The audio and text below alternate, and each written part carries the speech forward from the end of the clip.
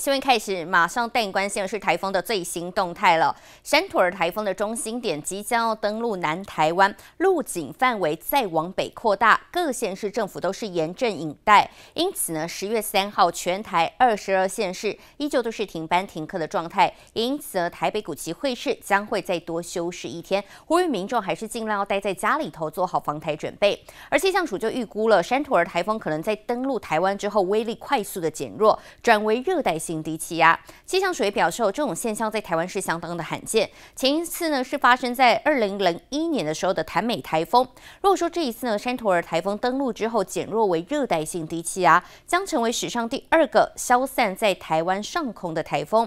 不过气象水示警哦，台风的环流结构依旧非常的完整，威力不容小觑。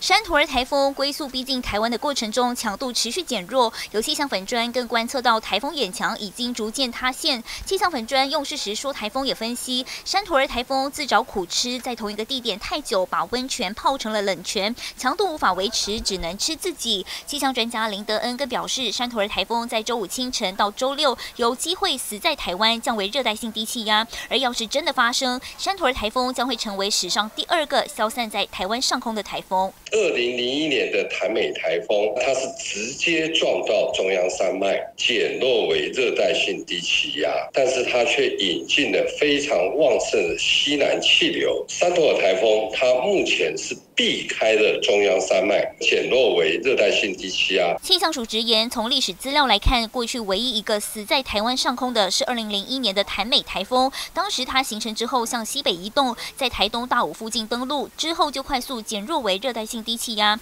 至于山土儿台风，预估将会以较弱的中台或是轻台登陆台湾，不过对台湾的影响仍是不小。周四全台停班停课，统计从周二开始，台风假连放三天的县市，包含嘉义县、台南市高雄市、屏东县、花莲县以及台东县气象署示警，即便台风减弱，但环流结构依旧完整，带来的风雨可别轻忽。还是不可以掉以轻心，尤其南部地区，它未来可能是台风直接侵袭的地方。今天晚上到明天白天这段时间，下雨的重点依旧都是在整个东半部跟南部之外，包含基隆北海岸跟大台北地区，下雨的情形会持续到明天白天，一直到。